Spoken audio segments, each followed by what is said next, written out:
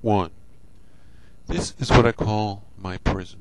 This is West 74th Street with the, uh, in Central Park West. On this corner, on my left, is San Remo. On my right is Longhorn or something like that. Uh, Langham. And uh, the San Remo, there it is, there's the front of it, is home to many stars, including Dustin Hoffman and Demi Moore, Ashton Kutcher, of course, and all their idiot kids, and um, Steve Martin. Anyway, these guys won't. Here's the truck. You know, just kind of shows up whenever I come near Central Park. They're using these guys to spy on people. I went jogging yesterday. There was about 20 of these guys, plus about six police. Don't have a criminal record. Never broke the law ever in my life. But anyway, about seven years ago, every time I went jogging, police would show up, and uh, walk into a store, police would show up. You know, I was waiting online to check out, police would show up. Uh, and these guys, these doormen, they used to have a button on their um, walkie-talkies where they just press a button and the police come. They don't have to show cause, which is, you know, against the law, of course. They also break the law by uh, the only people in New York that can discriminate on housing. They call it a co-op, but it's basically uh, housing. See, they just called the police and the fire department now come. So every time I leave my house, there's a fire truck, there's a police truck. I've been out here about three or four minutes, and I guarantee you there's no emergency. I've checked these guys out. You know, whenever I come out, I follow them in my car, whatever. These guys followed me. My car broke down yesterday. The fo- police followed me all day long. Then the fire truck was following me with the tow truck. Okay. This is the front of, of the school across the street from my house. Uh, so the neighbor in my house is this Rod Stewart impersonator. There's a San Remo on the corner.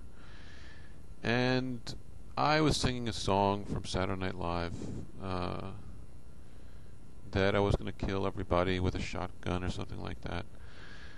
Um, and he went around to all the buildings. This guy, when I moved in, my mother bought this building. I moved in. I'm the owner's son, so of course, you know, why does he get to live for free? Anyway, this guy would just break things, really just try to cause a. A month after he moved in, he turned into the Nightmare on Elm Street. Just cursed at my mother, yelled at her, harassed her, broke things, trying to create like a rent strike, you know, thing. Maybe take over the building. This stuff has happened. You got all these. There's a San Remo again. You got all these people. So this guy really started problems for me, and of course he's very popular because he's a Rod Stewart impersonator. Everybody wants to hang out with him because he gets invited places. But the guy is like Pacific Heights, nasty. I mean, same mo, right down to the. Mean He didn't put bugs in the house, but just and he knows everybody in the neighborhood. He talks to all the doormen. So he spread this rumor around year 2000. I was going to get a shotgun. I was going to kill everybody. And around year 2000, you know, these kids were coming to school with guns, and these are all schools over here with guns and shooting people. Now he wasn't using his judgment. He was just looking for any way to harass my my family, my mother. Anyway, getting back to the San Remo. Um, so that happened in 2000. The police uh, just, just showed up. Now it's every day. I mean, I used to be able to go out and go about my business and not see police, except maybe Central Park when the doorman decided to hassle me. But anyway, Association for Better New York, they got rid of that button thing. They're the ones that started it when there was a high crime in the 70s. But they got rid of it, and I complained, and of course they never gave me an official reason. But this is Lenny's. This is where the cops hang out. All the cops want to hang out here. They want to meet the pretty girls who live in this area. They want to make friends with the rich people. Maybe get a job when they graduate, and when they retire. I mean. And uh, these guys were nasty. There's some of the same people that work in the San Remo. His name was Healy or something. He was the manager of the building. He would badmouth me to all the employees. Employees would come in here. They would tell this guys that I wanted to get a shotgun and kill everybody. Um, and these guys were really nasty guys. Uh, so they kind of started banning me from there. They kind of tr- mistreating me, and uh, and everybody in this neighborhood, like all the women, are looking for rich guys. They all gossip about everybody. They have to know who everybody is, where, how much money they make, where they live, so on and so forth. And if you're not wealthy, they're you know you're just pretty much persona non grata on you know especially on the women. Um, it's basically like any rich neighborhood. Like you know you hear stories of Beverly Hills where the cops pull people over for no reason, they hassle them. They don't really do it that much here, but they do do it. I mean, they started doing it, and anytime rich person calls, they just show up. I remember one time the door was open, and this, you know, this pretty lady. I mean, they don't know. I guess she, you know, she said, "Oh, there's a door open in my building. I know what's going on." The police all showed up. But anyway, this is just to explain why there's a San Remos, two towers. Um, why, uh, you know, I have this other video with police cars, and it's um, police cars following me, and I have 50 in one day driving like round trip 15, 20 miles. And this is where it started. You know, these people who've been like harassing me for years.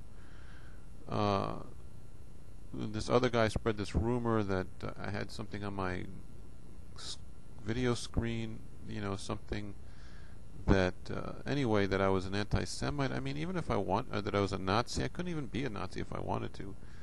I mean, it's so ridiculous it is. But uh, the you know the people next door they spread all these. These people are just rumor mongers. There's this is really where the ambulance show up now all the time. They're oh, and Lenox Hill is like 40, I don't know, 30 blocks away. It's on the east side. It's not even right side of Park. Uh, it's just really weird. I mean, you wouldn't find St. Louis ambulance. But anyways, ambulance everywhere now, and it, it wasn't like this a few years ago. These are all the first responders. Uh, it's the fire truck you just saw. I guarantee you this guy wasn't here like 10 minutes ago, but uh, a guy in my building or across the street, I don't know. But you saw that fire truck show up like three minutes later. Somebody uh, called him, and that's every day. So this is just to explain where all this came from, the police following me in the cars.